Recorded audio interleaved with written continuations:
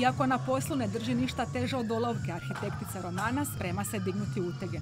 I to ne one obične, svaki teži nevjerovatnih 50 kg.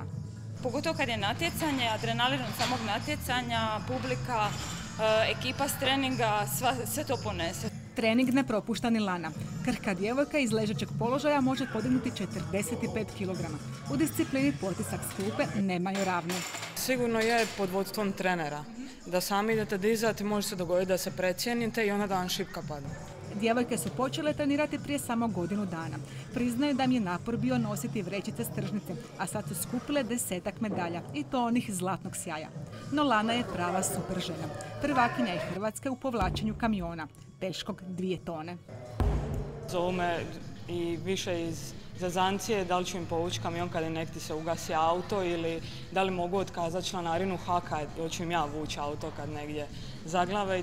Sirova snaga može biti opasna. Sve vježbe izvode se pod budnim okom trenera. No koliko god teško izgledalo, powerlifting nije poznat po ozljedama. Zapravo su discipliniranije nego, nego dečki. One puno discipliniranije i malo je lakše s njima raditi jer, jer nemaju problema s egom. Granica između muških i ženskih sportova davno je izbrisana. Zadarske snagatorice priznaju nam da su ovako jake samo u dvorani. Privatno ne biste nikad pogodili da su sposobni dignuti dvije vreće cementa kao od šale.